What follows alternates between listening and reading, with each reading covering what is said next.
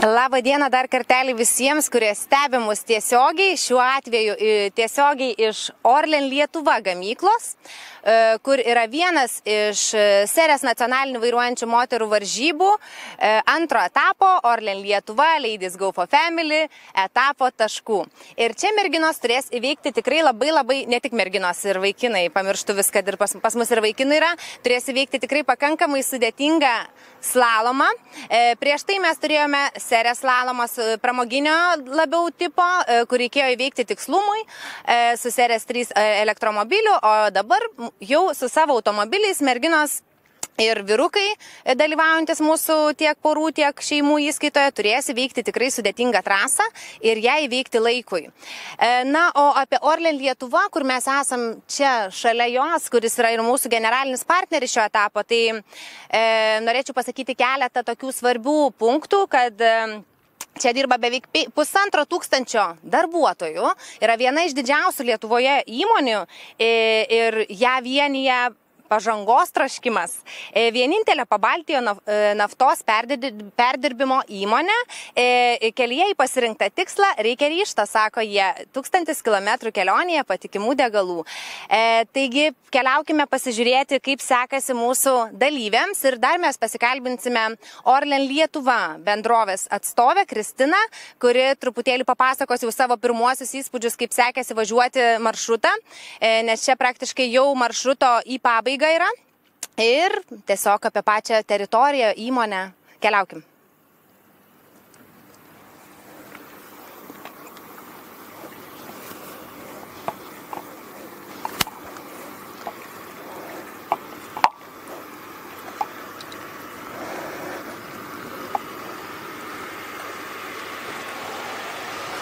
Štai merginos mūsų, kur kalbinome pasiruošusios, sakė, slalomą nori įveikti labai gerai, tai žiūrėsim irgi, kaip joms seksis.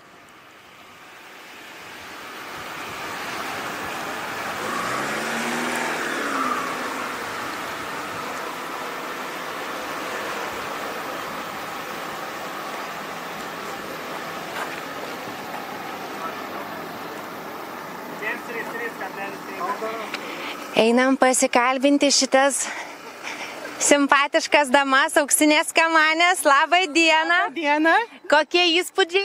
nu maloni, biškai jaudulysima, kaip visada. O slalomas pavyko? Pavyko, šiandien pavyko, Tai sveikinam, kilintą kartą dalyvaujate Leidisgų varžybose. jau trečią, Tai jau viskas kitą kartą į pro įskaitą, žinot. turbūt jau taip. Tai linkiu sėkmės jums ir susimatysim apdovanojimų ceremonijai.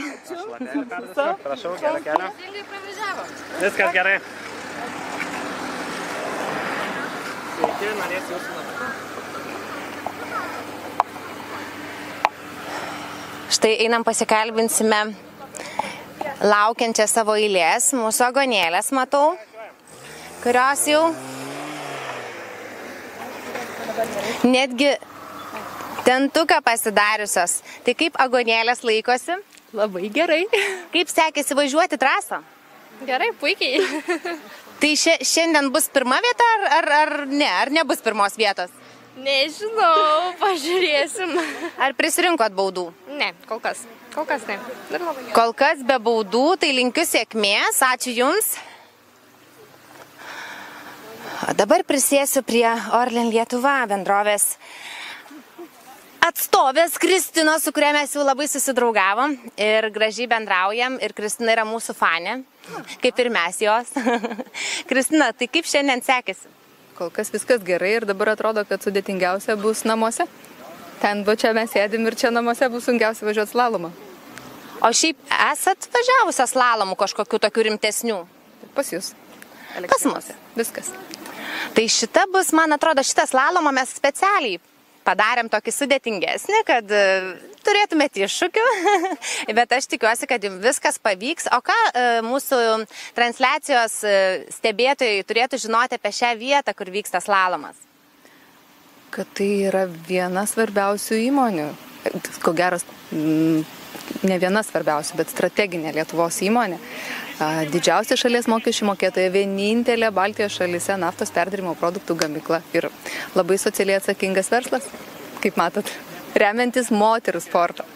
autosportu. Mes iš tikrųjų labai labai džiaugiamės, kad partneriai ne tik mus remia, bet ir važiuoja dar ekipažai iš jūsų, ar ne, keli ekipažai. Iš mūsų yra įmonės trys. Tai kaip galvojate, ar jums geriausiai pasiseks iš tų trijų ekipažų ar kažkuriam kitam? Sakyčiau, kaip dievulis surėdys, ar ne? Dabar mes važiuojam be mažiau, su, su mažiau emocijų, taip tikslingiau, bet niekas nežino. Yra rungčių, kur reikia tikrai labai kūrybiškai atlikti, labai tiksliai, taip kad linkiu visoms sėkmės ir kolegiams linkiu sėkmės. Na, o mes einame dar pasižiūrėti, kaip čia sekasi tas lalomas.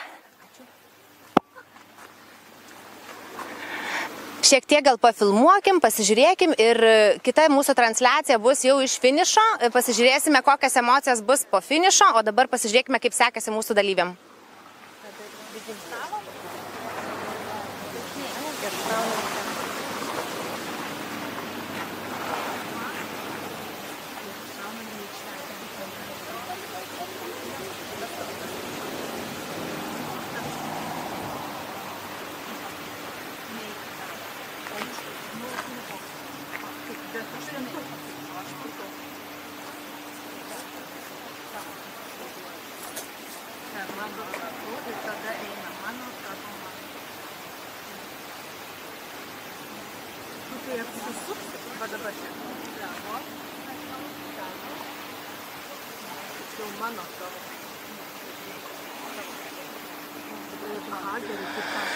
Na ką, einam pasižiūrėsim, kaipgi čia sekėsi.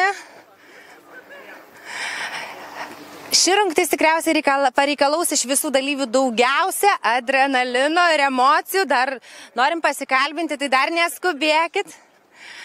Kaip, kokias emocijas? Va, va taip, va taip, labai. Pirmas kartas, pirmas toks važiavimas, pirmas e, jaučiu įvykdymas, nu va, super, nerealiai. Emocijos ima viršų. Duok penkis, super. Šaunuolė, sveikinimai. Labai. Na, o dabar e, trasa važiuos pašėlusios močiutės, mūsų e, tikriausiai nei vieno etapo nepraleidžiančios dalyvės. Ir kiekvieną kartą stebinančios ne tik savo energiją, bet ir įvaizdžių. Linkim sėkmės ir pakalbinsim finišę. Pasiruošę? Galima.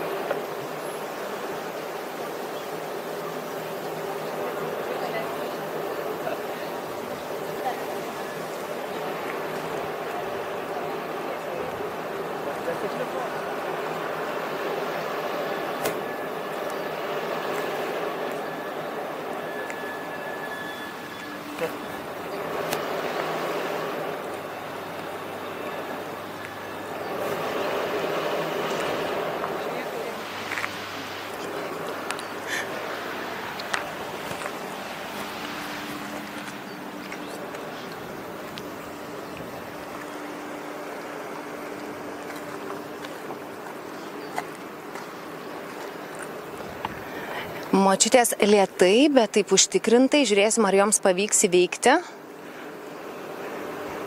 šitą sudėtingą, bet daug adrenalino suteikiančią trasą.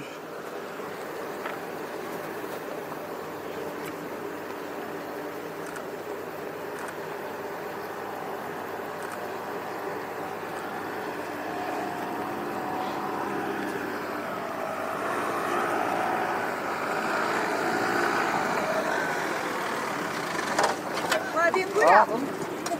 Gerai. Tai kaip sekėsi? Nežinau, kaip visada atrodo gerai.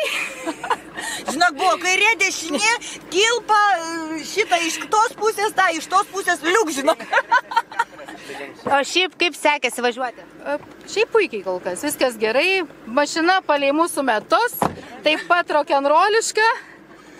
Tai linkiu jums sėkmės tada, likusios trasos, geros trasos. Iki Na, o mes atsisveikinam tikriausiai ir susimatysim finišę. Visą. Pasiruošę?